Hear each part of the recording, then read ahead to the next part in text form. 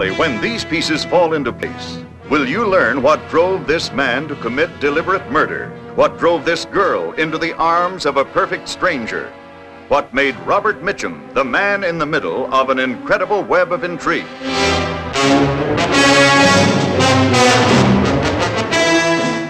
Eleven eyewitnesses, Bonnie. We couldn't play it down. The effect on morale was devastating. But damn it, you can't put a whole army under lock and key. So for the sake of this theater, the alliance and the war, Lieutenant Winston will be tried, found guilty, and hanged. The sensational bestseller comes to the screen. An affair so bizarre that its shockwaves reverberated from Washington to London to remotest India, leaving this man in a deadly, desperate spot. The spot I occupy in a situation so tense that one false move can mean the difference between somebody's life and death. You see, I'm the man in the middle of an affair so loaded with tension and intrigue that one misstep, one wrong word can doom a man who does not deserve to die. I'm the man in the middle of a new motion picture which stars the greatest cast that it's ever been my privilege to work with. France Nuyen, I am part French, part Chinese.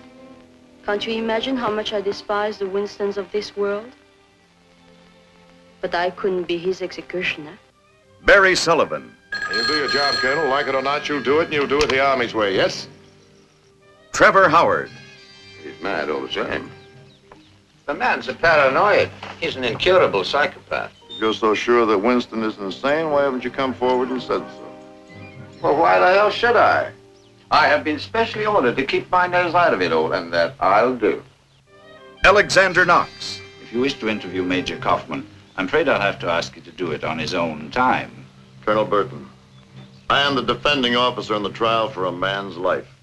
I don't know what your powers are in this theater, but believe me, mine are greater. There is no one, repeat, no one whose presence is forbidden to me from General Kempton himself on downward. That goes for Major Kaufman, and bank on this, it goes for you too. and Keenan Wynn. I'm sane! I'm the only one here who is sane! I'm sane, you lousy, limey quack! Well, tell him I'm sane! And you, yeah, you'll get yours. You'll get yours! Whatever it is that triggers a man into murder, whatever it is that explodes love into passion, If you want to put your conscience on my pillow, it's all right by me. whatever it is that overwhelms the emotions as it completely overpowers the screen, you'll find in Man in the Middle.